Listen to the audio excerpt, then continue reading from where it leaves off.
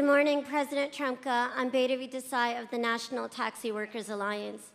So we represent a workforce that does not have pensions. We don't have Social Security contributions. We don't even have access to unemployment insurance.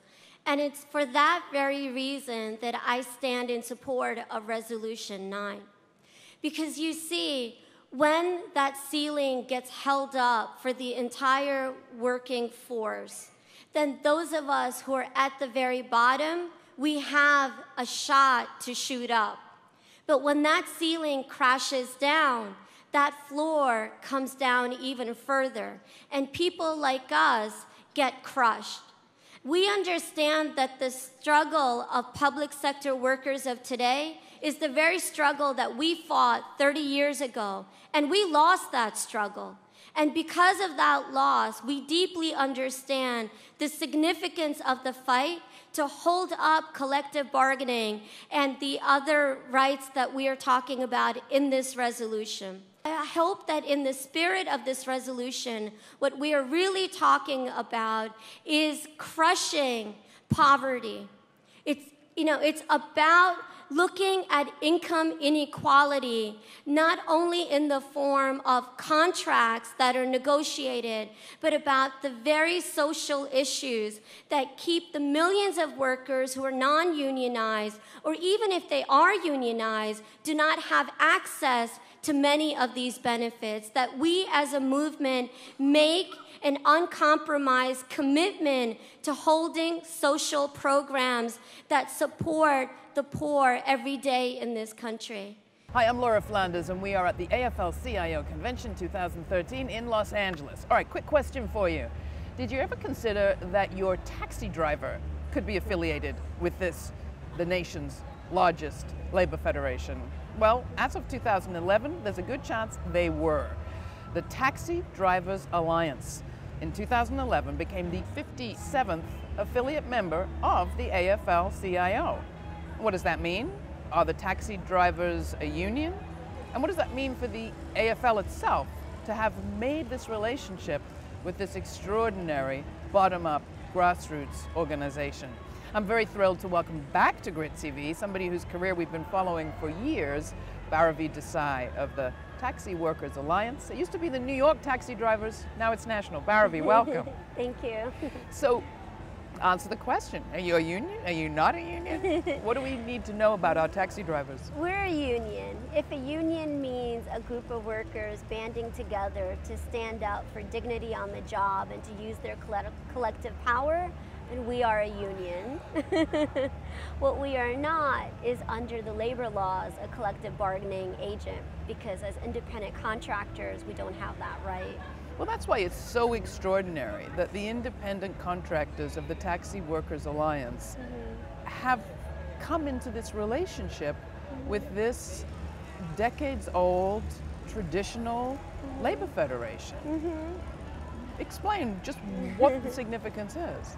Well, in many ways, it's flipping the script, you know, because I think for generations we've really been used to workers gaining collective bargaining recognition, then a union coming in, right, winning a campaign. Um, and once you establish that vote, then you're a bona fide union, and, and then you get to join. You, you can affiliate with the AFL-CIO. The way that we've done it is we're not waiting to win collective bargaining recognition. We're establishing ourselves as a mass-based, independent, democratic workers organization and through our affiliation of the AFL-CIO, you know, building our political power, our numbers, our strength, our resources to one day win collective bargaining. So this is a very big deal that you're sitting here in front of us with this AFL-CIO 2013 delegates ribbon on. it's pretty exciting. you are, I think, I looked at all the tables, I think you're the only non-union mm-hmm. that's there as an affiliate. Are you a first? We are the first organization of, or first workforce, I should say, of independent contractors that have been affiliated to the AFL-CIO. You know, we, we received an organizing committee charter in 2011. Um, it was a unanimous vote at the Executive Council, and that was the first ch charter for non-traditional workers since um, the 1940s, I believe. And so prior to us, it was the steel workers and then the farm workers. So we, we're, you know, we're in a pretty good legacy here. we feel pretty damn proud about that. For perhaps people who are not up on their Grit TV watching and may not know as much about the Taxi Workers Alliance as they should, who are your members? Um, what's the job that you do, Bhairavi? Our members are the men and women who you know, drive in New York City alone half a million people every single day. We are the main mode of transportation for New Yorkers from downtown Manhattan to the airports. We do more than 30,000 trips from the major airports alone in, in just in New York City. Um, across the country, you're talking about, you know, a, half a million workforce, you know, of men and women, primarily from primarily immigrants, over 90% from, you know, South Asia, India, Pakistan, Bangladesh, Nepal, Sri Lanka, to now increasingly parts of um, East Africa, from um, and West Africa, so Senegal, Ghana, you know, Ethiopia, Eritrea, Ivory Coast, to North Africa and the Arab world, um, Sudan, Morocco, Algeria. And the kind of life for those taxi workers, it's hard work. It's really grueling labor. You know, people work 12 hour shifts. In Houston, they work 14 to 16 hour shifts. You can imagine, Laura, if they get two fares in a day, that's a good day. You get three fares in a day, it's like a miracle. Drivers will wait online at the airport lot for up to six, seven hours at a stretch. You know, um, we don't have guaranteed income. We don't have pensions and social security contributions and employer health care funds and all because as independent contractors, we don't have even the right to collective bargaining. Mm. But what we do have are organizations across this country of taxi drivers who even within their 60 to 70 hour work week, are standing up for themselves and demanding justice on the job. So we've been winning fair raises and capping the lease. We drivers in this country begin every day at a negative, paying to lease or rent out the car or the medallion or whichever permit is in their city. And so the bosses are guaranteed a super profit while the workers are not even guaranteed an income. Well, I was going to ask you about the bosses and who they are mm -hmm. exactly. They, they really range from city to city, um, but they are organized in many trade associations. In New York City, we have three of them. They've been around for over 60 years. Um, nationally, there's a, a, there's the TLPA, which is a national trade association. Every year, they meet with the regulators national association, and they have a joint board meeting. And so a few years ago, we, uh, we crashed their little party. we got into the regulators conference and they would literally have sessions on how to advance your local policy by demonizing drivers.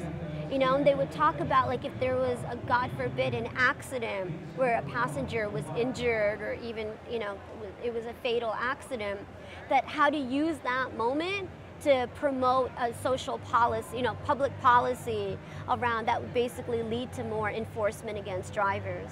And so the, the bosses and the regulators have been working together as one for decades now. But now as the National Taxi Workers Alliance, workers have a national voice and we're not we're not looking for a seat at the table. We want to dismantle that table because it it was built on our backs for too many decades. You actually do have a seat at the table, at the table of the AFL CIO Executive Council. And that's one we want to keep. what does that mean to get voted onto the council at this convention? I think it's a real validation that the working class movement in this country um, has a labor movement that recognizes that contingent workers, who are now 33% of the American workforce, fastest growing segment of the American workforce, you know, temp workers, independent contractors, um, that our, our struggle as working people is being lifted up. That it's not just the struggle of workers that are classified as employees, right? Because classifications are not what are going to define the unity of our movement. You will have a chance not just to be lifted up, but to lift your voice on this council. What kind of things are you going to be lifting your voice for? What does the AFL need to do to really change change life for taxi drivers? Well, I'll tell you, you know, we the way we built our movement because we didn't have a contract, we didn't have recognition. No one had to come to the table and meet with us. We did it by militant action. We had demonstrations and, you know, work stoppages and strikes and that sense of militancy is what we, we, we need to set that ablaze throughout you know, throughout all the industries in our country.